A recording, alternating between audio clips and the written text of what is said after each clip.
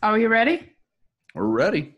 We're ready. Okay. Um, good afternoon. It's uh, chat with uh, Green Aggies, October 8th. Uh, my name is uh, Mengmeng Gu. I'm a professor extension specialist in the horticulture department. And I have five more uh, panelists uh, with us today. When I say your name, would you raise your hand? Uh, on my screen here, I have our uh, uh, IP IPM specialist Erfan from Overton, uh, Laura Miller, hort agent from Tarrant County, uh, Paul Winski, hort agent from Harris County, Dr. Becky Grubbs, uh, Water Institute at Dallas, and also Carlos Bogran, uh, our volunteer from uh, OHP. Uh, if you were uh, if you were with us last week, you probably remember, uh, you probably remember Dr. Becky Bowling was talking about uh, cool season weed management. And, and during the presentation, by the way, it's, it's totally cool. It's a really nice presentation. And if you could just remember the link of this playlist of our uh, chat with Green, Green Aggies, uh, that would be wonderful. But don't worry about it. I'll copy and paste the link in the uh, in the chat box for you all later on.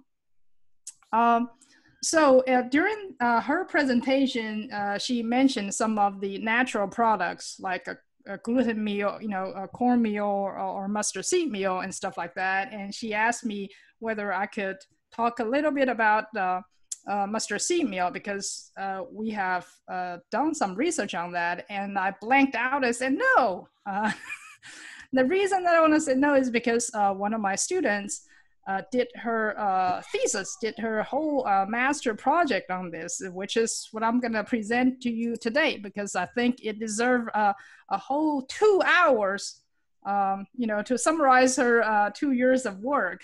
But don't worry, we're not going to go for two hours. So um, uh, my student Vicky, Vicky did her thesis on the herbicidal activities of mustard seed meal. Uh, and there in her uh, thesis, there are two types. One is uh, um, Sinapis uh, alba, Ida Gold is the commercial name, and Brassica juncea, Pacific Gold, on weed and vegetable emergence. So let's dive in so, you know, just a little bit about weed control. Of course, uh, I'm just kind of reiterating what uh, Dr. Uh, Grubb said last week. You know, there are chemicals, there are uh, physical methods, and uh, there are also bioherbicides, you know, like the dried distilled grains with solubles, uh, corn gluten meals, and of course, the star of this week today, um, mustard seed meal. So I'm going to call it MSMs. So this is what the uh, mustard seed meal uh, looks like. This is a, a small operation. I actually, uh, there's about two years ago when I visited the, the California, the, uh, you know, where they were making the uh, mustard seed meal, it's a much, much bigger, I mean, much bigger process but I was a little lazy going back to find that uh, picture of you know of the manufacturer. So uh, mustard seed meals are byproducts, you know, resulting from crushing mustard seeds to uh, provide oil for the production of biodiesel. So you know what you got is is somewhat a little uh, flaky, you know, looking uh, you know seed meal. The the the solid mass of the mustard seeds and oftentimes uh, people may you know uh, pelletize um, the mustard seed meal and make it uh, uh, just just you know uh, easier to handle. So let's get into the uh, let's get into the uh, the chemistry of the uh, of the mustard seed meal. And the main thing about mustard seed meal is that they contain um. Glucosinolates. Um, so it's it's just uh, um, you know uh, a group of chemicals, and then when we add uh, mustard seed meal to to soil to moist soil, so uh, there's a hydrolysis going on. It's a myrosinase catalysis. So the the uh, glu- uh, glucosinolates, uh, glucosinolates um, is gonna change to uh, is isothiocyanates, uh, ITS. And then that's gonna change to the ionic uh, thiocyanate. And you're gonna say, well, I can understand ITS, you know, it's from ITC, I mean, ITC, it's the uh, kind of like the short name for ITC. But what is SCN? Where's SCN in the uh, thiocyanate? And actually, that's the uh, chemical structure of thiocyanate. You know, it's actually S and then the two bonds and C with there are two bonds between C and N. So uh, so SCN is thiocyanate. It's not the acronym, uh, you know, not like ITS is the acronym of isothiocyanates. SCN is literally the, the chemical structure of thiocyanate. So if it's OCN, sorry, I'm just, I love chemistry. I'm just gonna dig slightly deeper into this. So if, if it's OCN, it's cyanates. It's, if it's OCN it's cyanates. So, uh, so thiocyanate uh, is uh, S, sulfur replaced the oxygen in this, you know, in this uh, structure. So when it comes to the mechanism of weed suppression, uh, there are two folds. There are two folds of uh, weed suppression here. So SCN thiocyanate, uh, it inhibits chlorophyll synthesis. And then the ITS, uh, isothiocyanates, it binds to protein of metabolism. So they kind of, you know, uh, affect the, uh, you know, weed suppression in those two ways.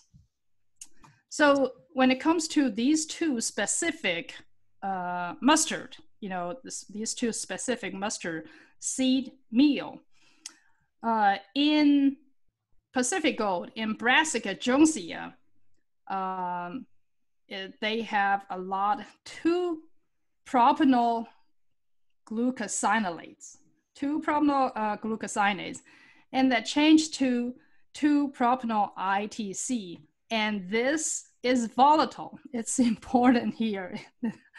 uh, so this is volatile. And in, Synap, in Sinapis alba, they have four, majority of the content of the, of the uh, glucosinolase is 4-hydroxybenzyl glucosinolate. And that's going to change to uh, 4-hydroxybenzyl ITC, which is not stable and then that changed to uh, type of uh, uh, thiocyanate, and that's soluble.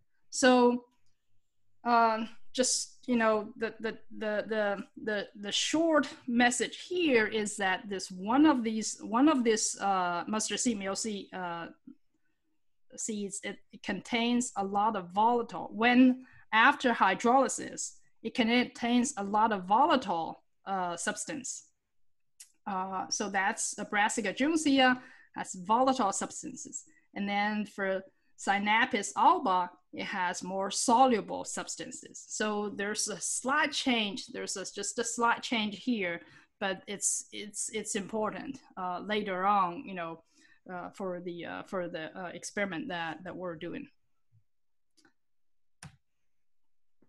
So we started with some uh, uh, petri dish. We started with some petri dish uh, experiment, and for all throughout our uh, experiment, we used two types of um, uh, weed seeds. One is uh, one is large crabgrass. One is large crabgrass, and the other one is I'll show you later on. So it's so in in these petri dish experiments. Um, so on one side is is Ida Gold. That's the um, the Ida Gold. That's the one with more soluble substance, and this on the other side is uh, Brassica with more um, um, volatile substance. And then in the petri dish, we mixed we mixed uh, different amount of of these you know these two type of uh, mustard seed meal with the soil so this is a control. There is no mustard seed meal in it, and there are 50 grams per uh, uh, square meter. So this is this is in a way that uh, we you know uh, of course this is not a, a, square meter. It's it's just uh, the amount that you know if we apply this to a square meter. So this is 50, uh, 100, 200, and 300. And then within each of these uh, same amount of, uh, you know, within this same amount of uh, mustard seed meal, we also did half, half of the top half uh, was unsealed. So there's, you know, there's no sealing. So there's gas going in and out. And then the bottom half shows that these petri dishes were sealed. So basically, if there is a, you know, gas uh, product coming out of the mustard seed meal, mustard seed meal hydrolysis, you know, it will be sealed in, you know, see there's any actions. So as you can see a trend here, you know, if we look at the Ida gold here, you know, the trend is, um, and as you can see that these are the, uh, you know, uh, large crabgrass, you know, they're without mustard seed meal, they're germinating like crazy. If I remember correctly, we uh, put about 50 seeds. We put about 50 seeds per um, petri dish. And as you can see from the top, uh, to the bottom, you can see a, a, a general trend of decreasing uh, germination. You know, a decrease in germination uh, of, of the large crabgrass. Um, and then uh, if you look at uh, within, you know, this within a certain amount, let's say 50 gram per 50 gram per uh, square meter, and you can see that the bottom one the sealed one, you know, the sealed petri dish, you know, the seed germination is is much less than the, the top, you know, than the, the upper half where the uh, petri dish were not uh, sealed. And look at the 100 gram, uh, definitely the case. And then uh, 200 grams, there's almost like no seed germination in the sealed one, but there, you know, some in the uh, in the unsealed one. And if you go to the, this side, remember Pacific gold, the brassica, the brassica species. Uh, I'm gonna go back to this one. If you remember this brassica Pacific gold, this species has mainly mainly volatile has mainly volatile um, substance, 2-propanol ITC, versus in this uh, Sinapis, uh, you know, it has uh, soluble substance. So let's come back to this picture. As you can see that right here, you know, for this uh, Pacific gold, even at 50 grams under sealed condition, under sealed condition, you could see there's a, there's a huge difference. There's a huge difference. For, for Ida gold, you know, at 50 gram, yes, there is a difference. You know, the, the, the unsealed and the sealed, there is a difference, but it was not as dramatic as uh, when the mustard seed meal is Pacific gold. I mean, look at the difference.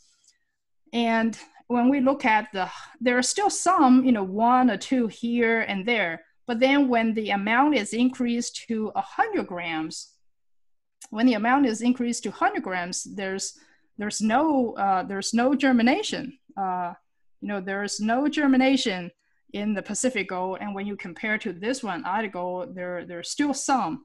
So you can totally see, you know, the uh, one is the difference, you know, in the amount, you know, from zero to 50, 120, and 30. And then on the other hand is the sealed and unsealed. So for, uh, you know, for Pacific Gold, even at 300 uh, grams, you know, there's still one or two here um, germinating, uh, you know, for the unsealed but but you know at at the sealed condition you know where the gas where the volatile uh, substance is um, you know is kept in you know kept in uh, you know the, the, you can see there's a there's a very good control of the uh, you know of the large crabgrass and you may see some of these uh, these uh, you know stuff uh, growing in these things so i want to remind you uh, another thing.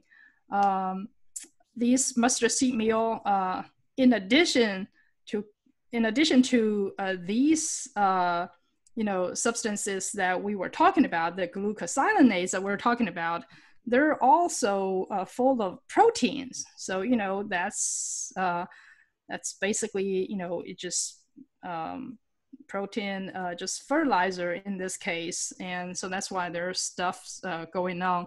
It's kind of moldy. So uh, one was you know one set of the experiment was on uh, large crabgrass, and then we also tested uh, Palmer amaranth. That's another lovely uh, weed that we commonly see uh, on our, uh, you know, uh, yarn lawn and stuff.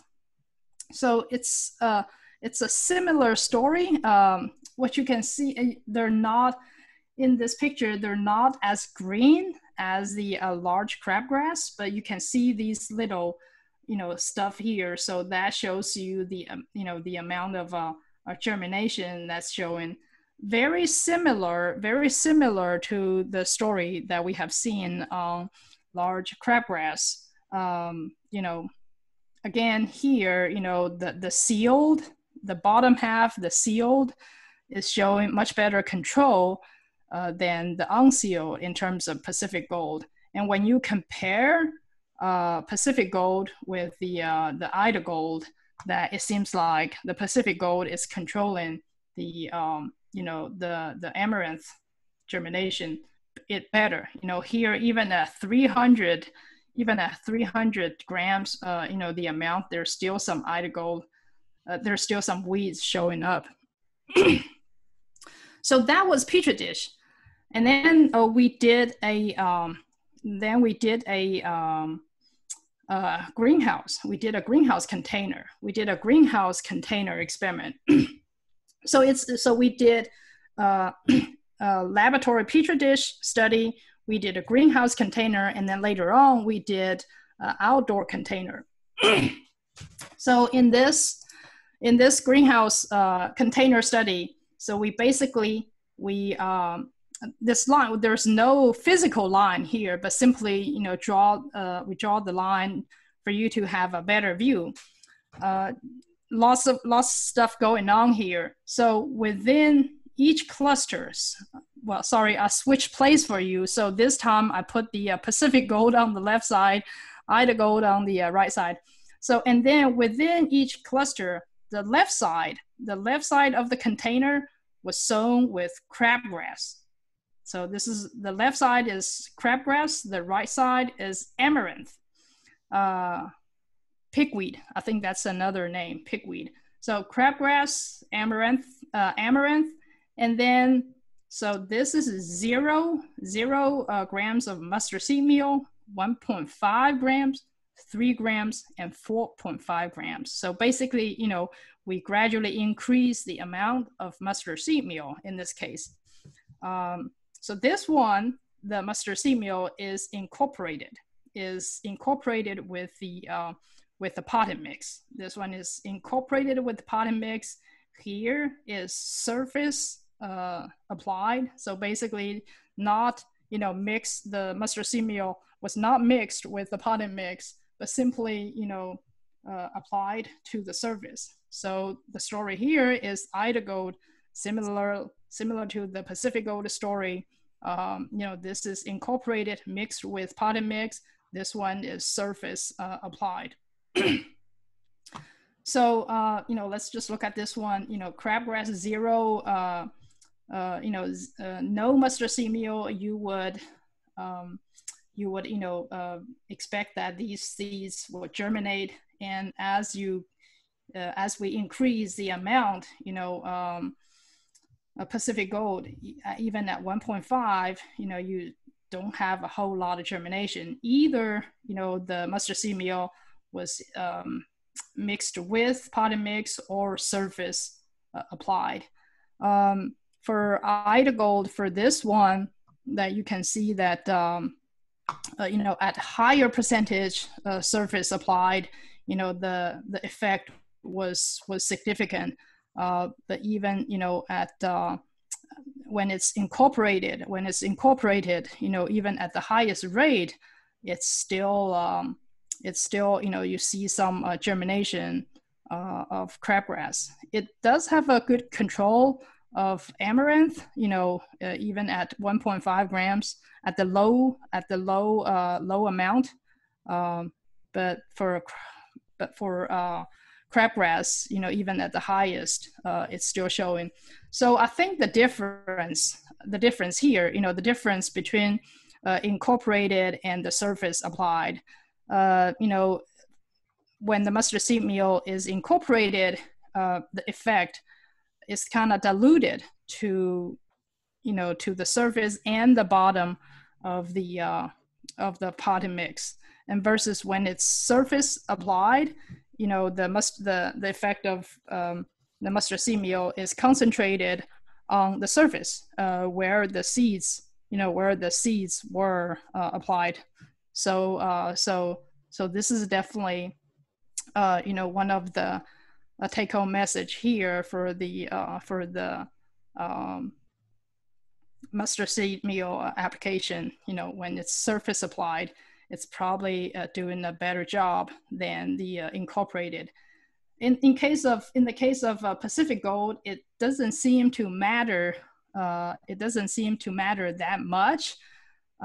probably, probably, I'm gonna go back to the the one uh, page uh, chemistry that we talked so much there, you know, in uh, Pacific Gold, uh, the the main thing in this is uh, is a volatile substance. You know, it's a volatile uh, compared to the soluble uh, substance. So you know, if it's volatile, it's probably gonna volatilize up and you know killing the the wheat seeds on the way versus versus uh, this one, you know, the substance is more soluble. So when it's soluble, you water it, it it doesn't go up. It more likely uh, goes down, and you know, not affecting the wheat seeds. So that's in the greenhouse, and then uh, we took it outside, and we took it outside and tested. We took it outside and tested in the uh, in the uh, uh, just just took outside and see whether uh, Mother Nature may change the, you know, to change the the the the result a little bit. So here, what we have is um, here what we have is um, is um, we have three rates. Um, uh, back here we have back here we have had uh, uh, you know uh, four rates: zero, low, medium, and high.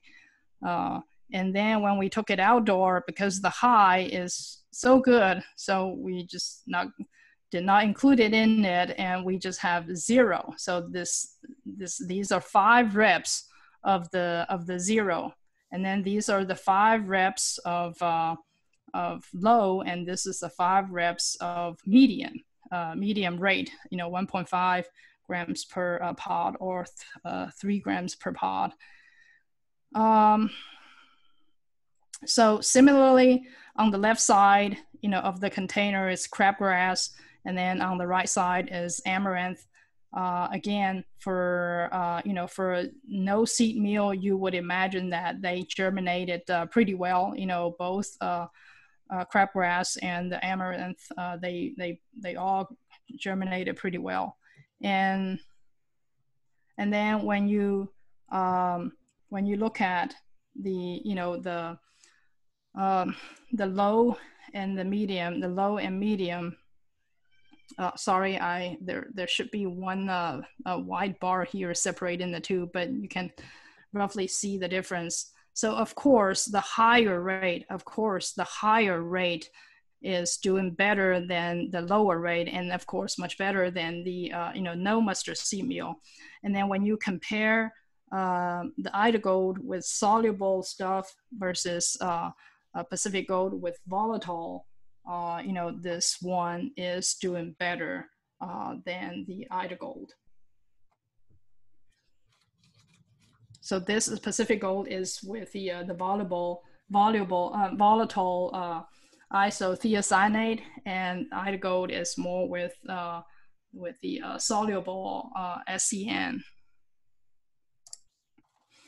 So, uh, you know, in terms of these two, it seems like uh, the Ida Golds exp expressed uh, uh, better weed suppression efficacy on uh, Palmer amaranthus in the greenhouse versus the uh, Pacific Gold was more effective on large crabgrass in greenhouse. Uh, you know, those microbial activity was due to the SCN in the in the in the in the content, and then outdoor there may be some precipitation. So, uh, so the next part of the um, the next part of the uh, experiment has a lot to do with you know the why we were doing that has a lot to do with uh, this picture. Uh, you know, in a lot of the production, um, when in in vegetable production, a lot of times you know you'll see we use these uh, plastic films for for um, for weed control for weed control and um, and if we uh, use this is this is ideal if you think about the previous uh, experiment that we did. You know, we used a sealed and unsealed petri dish to test out our uh, um, to test out our uh, um, just you know in theory whether it's going to work or not. And we can see that uh, you know the sealed uh, petri dish, you know, is doing much better than the unsealed.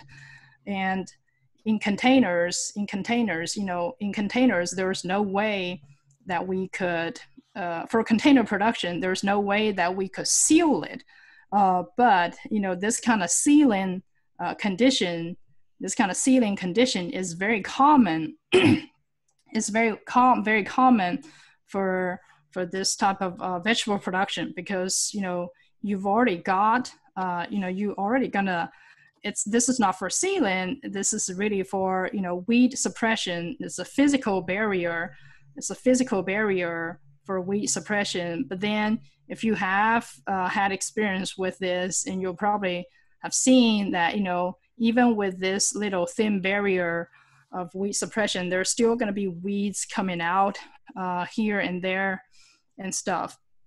So So uh, for that, we're like, uh, what if, you know, how do we make use of this uh, this sealed condition in in vegetable production?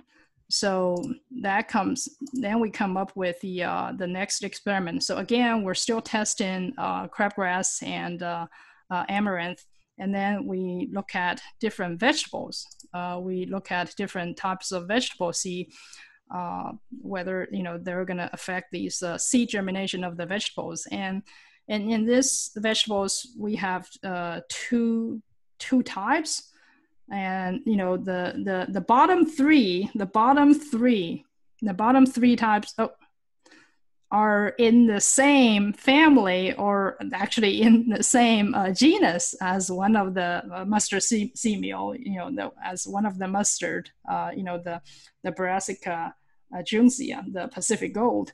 And then these two are the non-brassicas.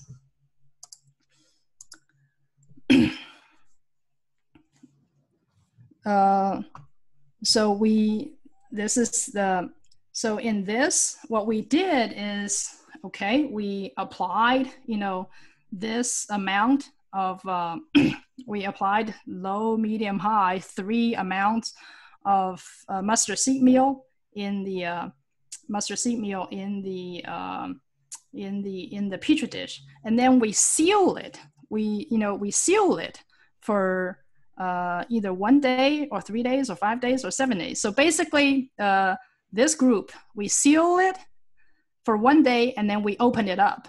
For this, we sealed it for three days. For this, we sealed it for five days, and for this, we sealed it for for seven days.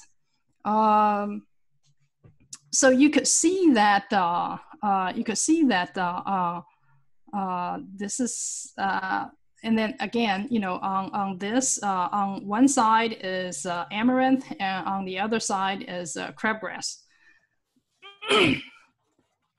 So as you can see that of course you know the higher the amount of mustard seed meal is the better weed control. And then also uh, if you if you look at uh, uh, maybe just this one, uh, you know, the high, the, the longer we seal it, the longer we seal it, uh, the better uh, weed control we have. And then uh, it's, it's a similar a case in this one. Um, so for Pacific Gold, even at the low amount, you know, sealing it, you know, sealing the uh, you know sealing the uh, the petri dish had significant impact on the amount of uh, germination that we had. And again, Pacific Gold is the one with mainly um, volatile substance, and Ida Gold is the one mainly with the soluble uh, substance. So you could see the difference here. and then we look at the uh, look at the vegetable uh, we look at the vegetable and you know see how long the um, the seedling would affect, how long the seeding would affect. Um, so what we have here is, uh, um, I think this is onion. Uh, what this is onion, and this is this on this side is kale. On this side is uh, is uh, is lettuce. So uh, again, similar story. Um, but these uh, seeds are not as affected, you know, not as bad as as the wheat seeds. Uh, if you think about, um, it could be it could be the size or something, but the the vegetable seeds are not affected uh, as bad as the wheat seeds. And this is a, a black lettuce and the the Mizuna green. Also similar story. They are affected, uh, but not as bad as uh, as the wheat seeds. Um, I just want to say that my students actually take uh, took a lot uh, took a lot of data. You know, uh, for, this is just an example of of one of the data. So basically, all those pictures that I show you, all those pictures that I show you, there's a graph like this. There's a graph like this, you know, showing that, you know, for how many days that, you know, the, the germination um, stopped or something. So, so uh, I want to go back here. So what, what can we, uh, what can we uh, learn from, you know, the difference? What can we learn from the difference uh, between you know the effect on the seeds and the effect on the uh, on the um, on the uh, the vegetables. Um, so there is definitely a first of all there's definitely an effect on the on the weeds you know the longer the longer that you seal it the longer uh, i mean the less germination we're going to have and then the second thing is, it seems like the uh, the vegetables that we tested were not as uh, badly affected like the seeds. So uh, if if so in this case if um, if uh, you know under this plastic culture that you're gonna uh, you know you're gonna seed uh, it's probably advise it's probably wise to wait a couple of days if mustard seed meal, you know, if mustard seed meal is incorporated, uh, if mustard seed meal is incorporated inside before uh, this plastic mulch is applied, so that uh, you know it would only affect the uh, it will only affect the uh, the weed germination, and then you know and then you open it up, it wouldn't affect your uh, vegetable seed germination that much. With that said, most of the time, most of the time when farmers do this kind of uh, production, they do not direct seed. And as you can see here, that they just directly, you know, they transplant, they transplant these vegetables. And at this stage, uh, they are really not uh, affected by the mustard seed meal uh, that much. If you can see that, you know, um, um, so this this is uh, you know applied in uh, in nursery uh, in in in vegetable production. So in in landscapes in in landscapes um, in landscapes uh, we you know I think uh, it's probably not feasible to have this kind of coverage.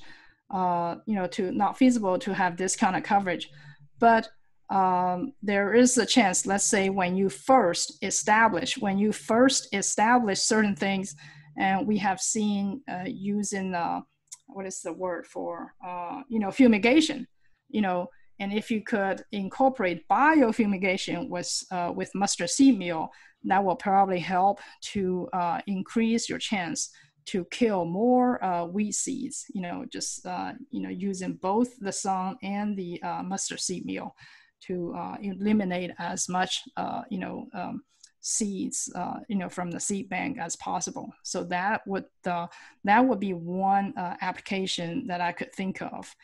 Um, I'm gonna go. Um, so uh, as we can see that, uh, you know, both, uh, so these, for these two mustard seed meals, one has a better um, herbicidal effects uh, on the uh, weed emergence. One is better kind of incorporated in a little bit. The other one is more surface applied. So, uh, so probably, you know, the combination. So the best herbicidal efficacy will probably be the best by by both, you know, by sealing by sealing the mustard seed meal uh, treated soil and also apply on the soil surface so that the effect is not so much diluted uh, to the um, to the uh, you know to the to the ground. And then uh, theoretically that they are you know effective um, you know to control uh, both broadleaf and the grassy weeds. Um, so what it does, uh, and as you can see that uh, um, on the experiments that we're doing, we're both looking at the germination level. So it's so for one thing that it's more effective as uh, as a pre-emergent as pre-emergent herbicide.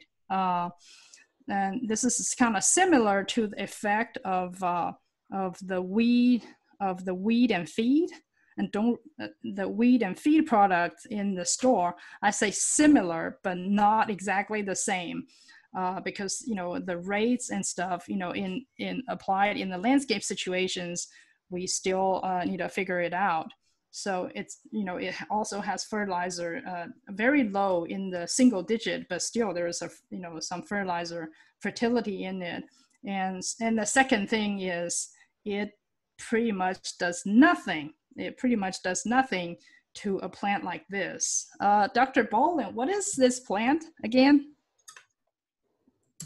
It's purple nutsedge. Purple nutsedge, and you covered it uh, in your uh, in your talk last week, right?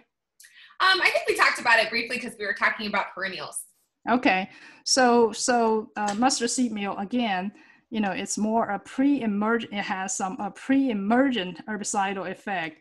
It doesn't do a whole lot for a perennial uh, weed like this purple nutsedge. And the reason I presented this here is this is a little gift for my daughter. This is her first uh, floral arrangement. So to Dr. Bowling, this is a weed, but to my daughter, this is just a beautiful flower. A weed is only a weed if it's somewhere you don't want it. And when it's on your mantle, you know, it's fine. Yeah. All right, uh, that's the end of my uh, presentation, and we're going to move on to uh, plan of the week. Okay, well, thank you, Mengmeng. So, our plant of the week today is Belinda's Dream Rose. Uh, this is one of the Texas superstars.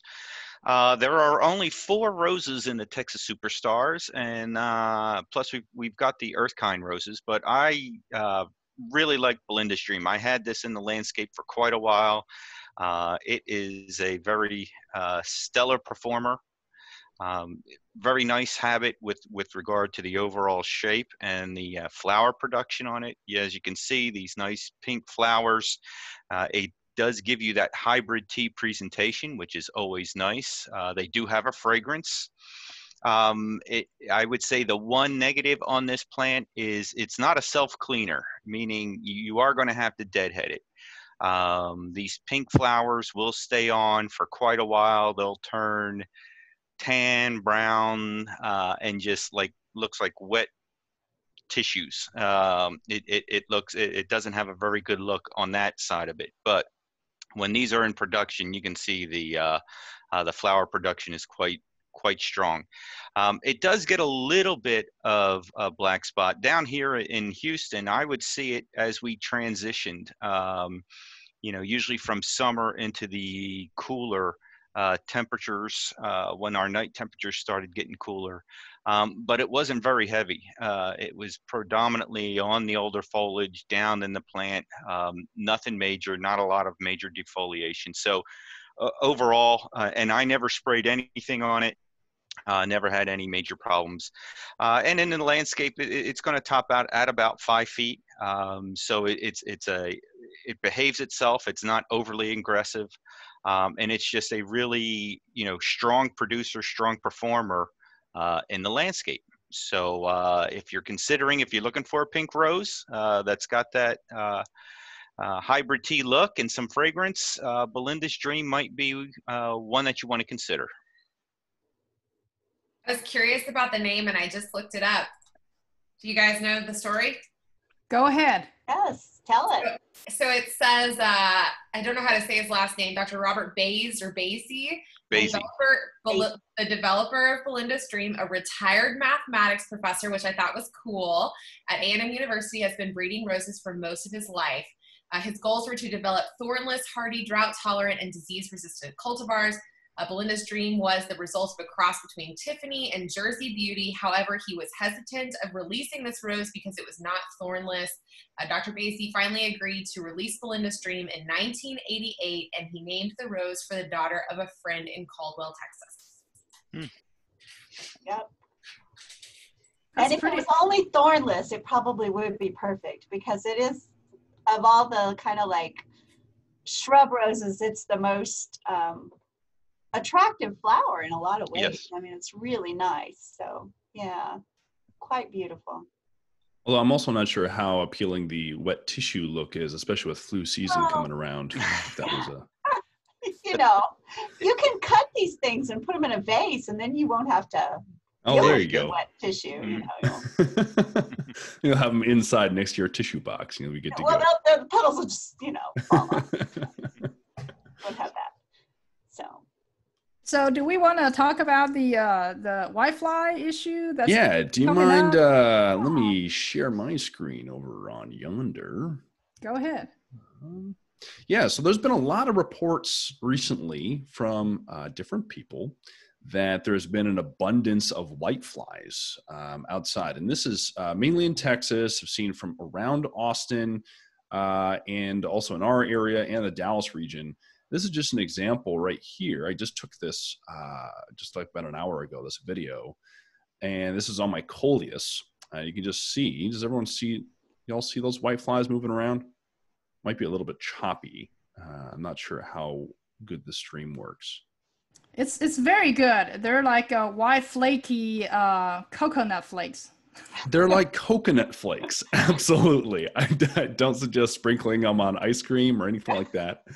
Um, it wouldn't hurt you, but but yeah. So there's there's a huge uh, there's there's a lot of them. You can see here. Um, like I said, I've gotten a lot of personal um, uh, correspondence, but even on Twitter, Alex Wild, who's based in Austin, uh, took a photo and, and posted it up here Janet Hurley, our entomologist there, said they're saying they're, they're seeing them large abundance in North Texas as well.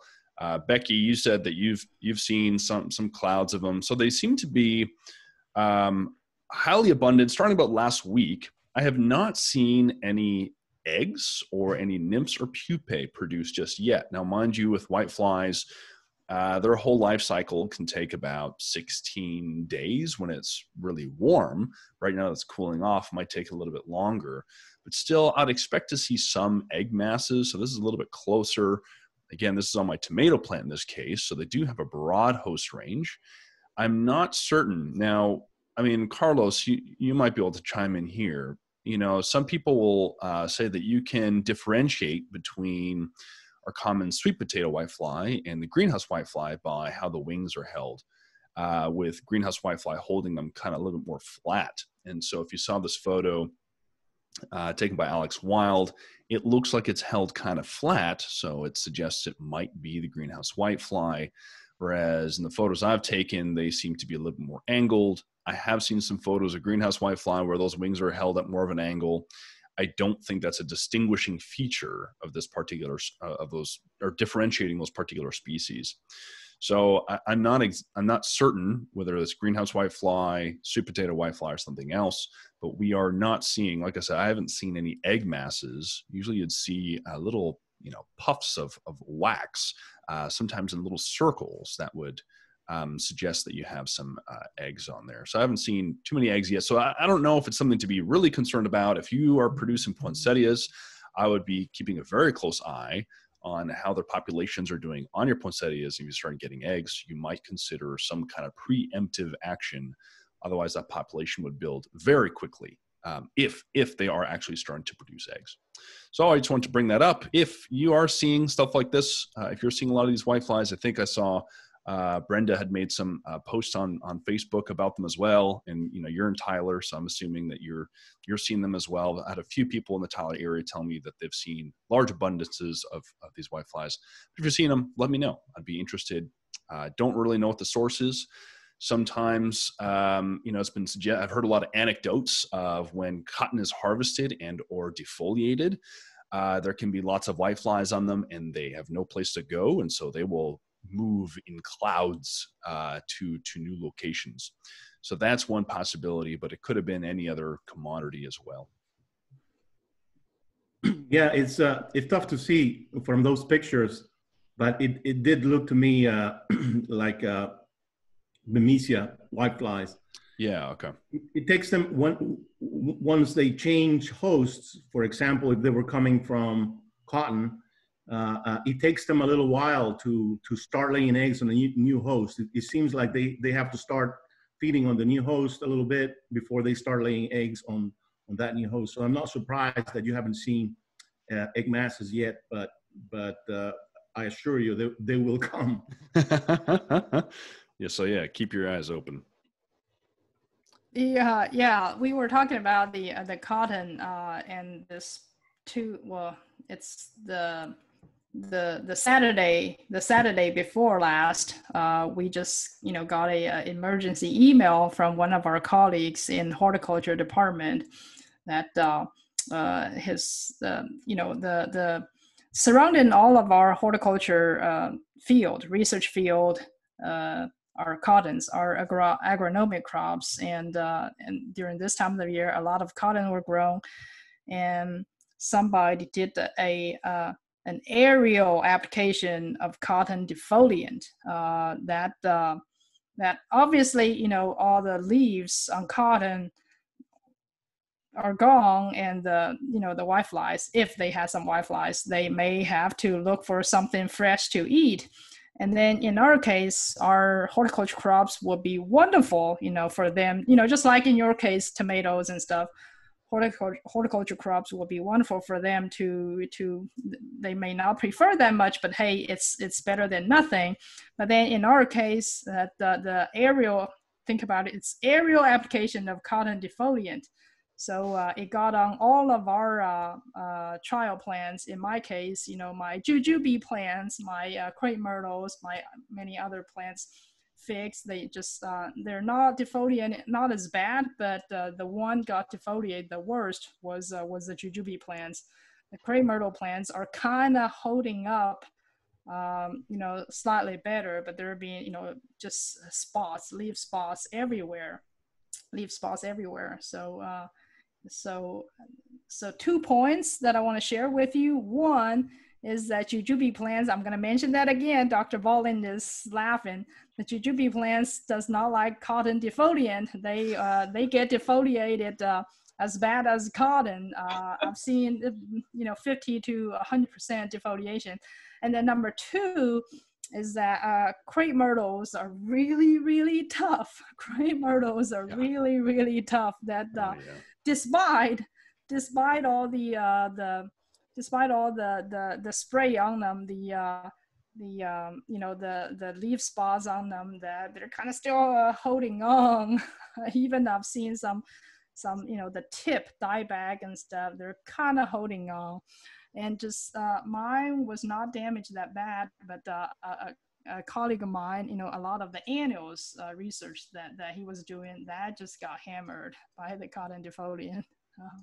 Hey Mengmeng, have y'all been able to take some good pictures? of everything? I have lots of great pictures. I'll be share. I'll be willing to share with you. I'm uh, pretty excited that I can now answer the question: Will Will defoliating my cotton hurt my crepe myrtle? be like, no. No, but your jujubes.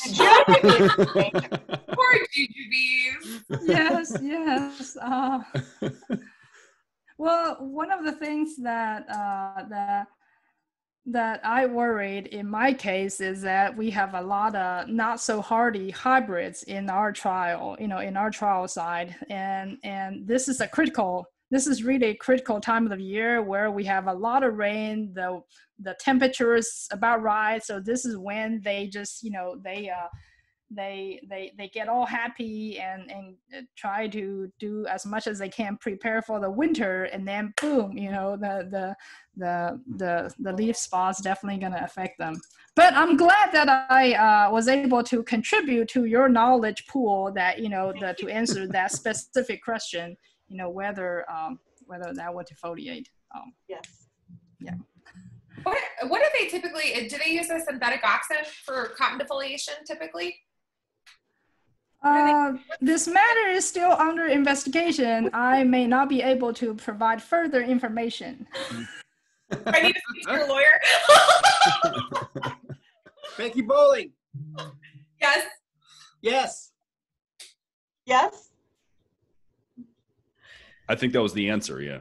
That, that was okay. the answer. Yes. So it's a synthetic auxin. Is it okay? Okay. Okay. Okay sounded like Dr. Kevin Ong. He, he knows I know. A voice from the heavens. yeah. Becky, yes. yes. Whenever you had a fork in your life, you just hear Kevin Ong yell yes or no yes. in the background. I feel like I should know what they use to defoliate cotton because I lived in Lubbock for so long, but it's just been a really long time since I have been around that world. So. Um, well, before anything else, I want to let you know that uh, uh, the link of that, you know, of the of all the recordings of the uh, chat with the Green Aggies, 22 videos now, and then after today there will be 23. They're all gonna be in that link. You click on that one link, all 22, and then 23 videos is gonna show up. So uh, I hope you will, you know, go back and catch on what you have missed. And Dr. Bowling, do you have something to share? I do. You do? I sure do.